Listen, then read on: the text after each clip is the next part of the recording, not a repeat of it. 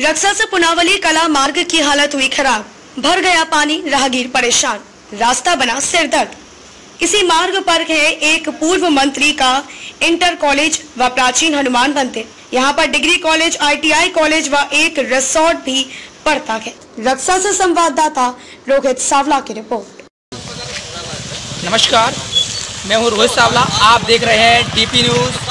मैं इस वक्त खड़ा हुआ हूँ बदीना ब्लॉक के ग्राम पंचायत रक्षा में खड़ा हुआ हूँ। आज यहाँ पर जो रोड पे है, यहाँ पर रक्षा से पुराली गाँव के लिए जो रोड जाती है, मैं इस रोड पर खड़ा हुआ हूँ मार्ग में।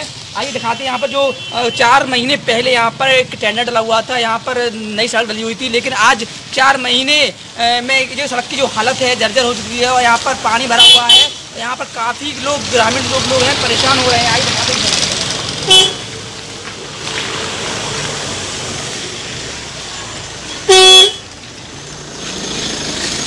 दिखाते यहाँ पर जो यहाँ पर जो रोड है लगभग चार महीने पहले यार टेंडर हुआ था। यहाँ पर रोड नई सड़क बनी हुई थी, लेकिन चार महीने तक तक जो नई सड़क है, वो नहीं चल पाई है और यहाँ पर काफ़ी गड्ढे हो चुकी हैं और काफ़ी राहगीरों को काफ़ी मुश्किल का सामना करना पड़ता है। आज यहाँ यहाँ पर इसी मार्ग में मंदिर भी है जहाँ पर लोग जाते हैं और काफ़ी उनको सामना करना पड़ता है गंदगी का। आइए कुछ लोगों से बात करते हैं।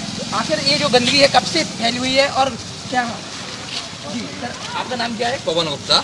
जी पवन जी ये परेशानी है? ये परेशानी हर बार की है। यहाँ हर बार टेंडर डलता है, लेकिन कुछ एक्टिविटी के कारण टेंडर पूरा तो हो जाता है, लेकिन यहाँ सड़क नहीं चलती है। धांधली होती है, कई लोग यहाँ पर कई बार टेंडर बना चुके अभी चार महीने पहले हाल ही में यहाँ सड़क बनी हुई थी। लेकिन कुछ मटेरियल ना मिक्स होने के कारण सड़क उखड़ चुकी है पूरी तरीके से।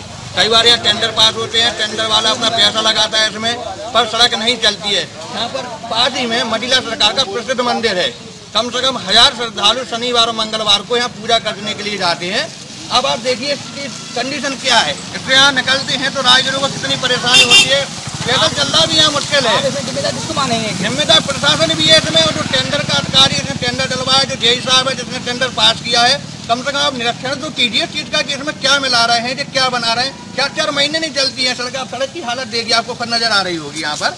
यहाँ पर प्रसिद्ध मंदिर भी है महिला सरकार का कई यात्री निकलते हैं श्रद्धालु निकलते हैं। अब कीचड़ में से निकलेंगे तो मंदिर जाने का फ़ायदा क्या है मुझे आप एक बार बताइए।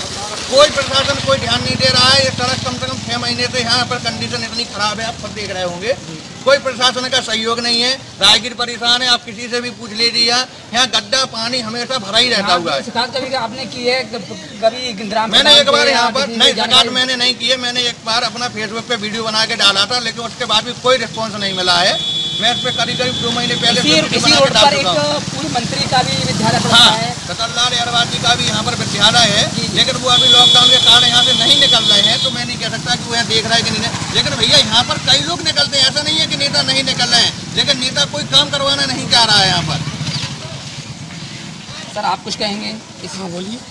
ये तो कम से कम पाँच साल क्या दस साल करीब हाँ। होने आ रही है। इससे दस साल से यही परेशानी हो रही आज तक किसी ने ये काम पूरा नहीं करा। लगभग दस वर्ष से? हाँ दस वर्ष से।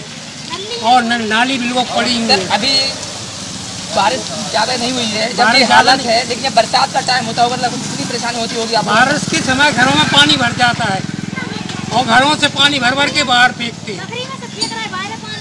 कितना पानी आ जाता है नालियों में नलों का पानी निकलना मुश्किल हो जाता है। राहगीरों को बहुत परेशानी। गंदगी इतनी है कीड़ा मकूला हर एक चीज़ की परेशानी हो रही है आप B A B S C B com हेतु प्रवेश प्रारंभ। अल इब्राहिम महाविद्यालय अमरपुर रक्षा झांसी। अधिक जानकारी के लिए संपर्क करें nine four five three nine zero seven two one four.